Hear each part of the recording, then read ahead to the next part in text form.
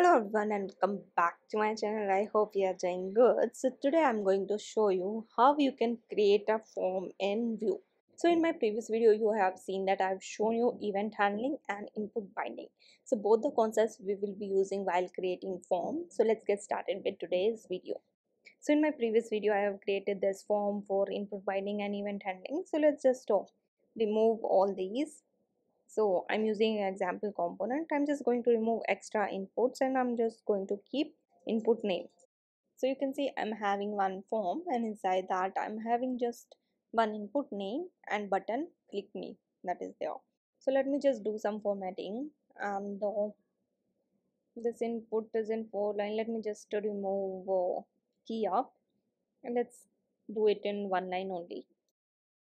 So now let's change click me with submit and also remove at the rate click here.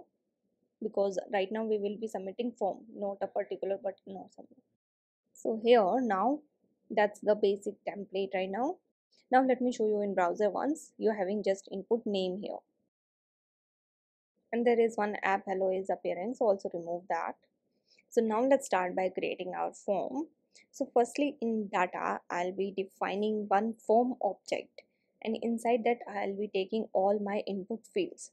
So let's say name as a blank, email as a blank. After that phone, let's say phone as a blank and then message also blank. So now in V model, we will be defining like form dot name, form dot email like that. So in name, write form dot name. So now let's copy input name and paste for email. So change label email then now type also we need to define. So define type text as name then input type email and here v model inform dot email name also email. So let's create our next input for phone change label to phone.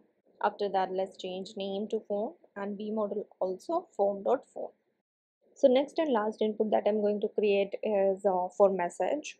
Let's change label for message actually I forgot to change a type of phone.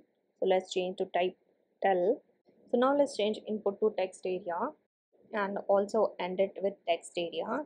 Remove type. We don't need type here. And uh, change name message and also v model form dot message. So now our contact form is ready. So you can see name email phone message all those things. So now let me show you in browser how it's looking so you can see all the fields and text area also. So now let's add required to all the fields. So add required to all fields. Now let's submit this form. So to submit this form we will be using submit directive.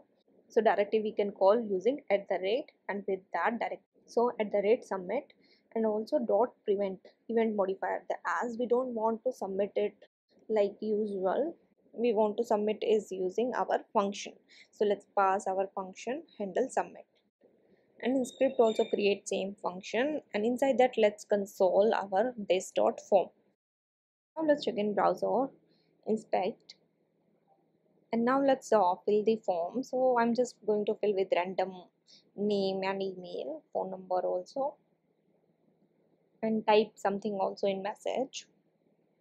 And now let's click on submit so in console you can see so in console you can see all the four fields is present and its value also present that I have entered into the form.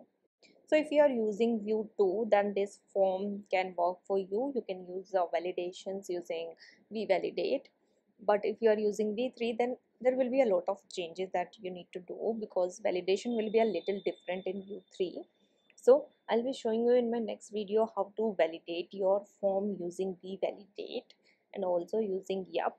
So that's all in this video. I've just created a short video on how to create a form because if i'll show you validation in one video that will be a very large video that i don't want to. So here in this video is just form creation and in my next video i'll show you how to validate your form. So thank you so much for watching. Please like share and subscribe to my channel